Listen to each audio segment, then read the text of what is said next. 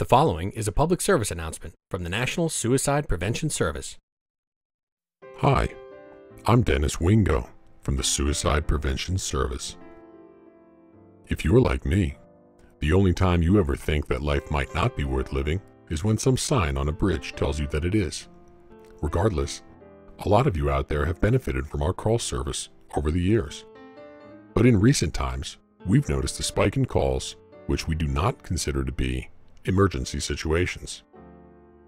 Although we here at the NSPS are sorry to hear that your local Chuck E. Cheese closed down, or that the bag of Jelly Belly jelly beans that you bought included too many black licorice and buttered popcorn flavors.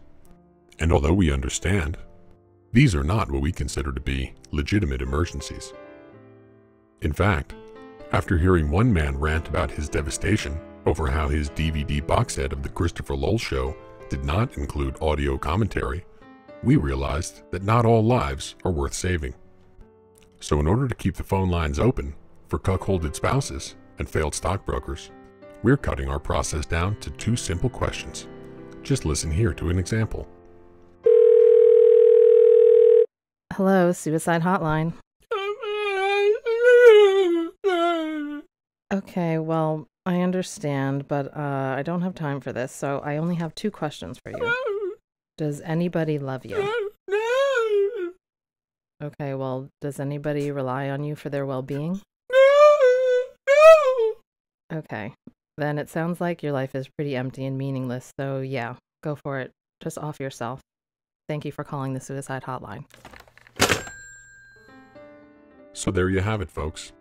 Our simplified process, perfectly executed by one of our apathetic operators. Look, we get it.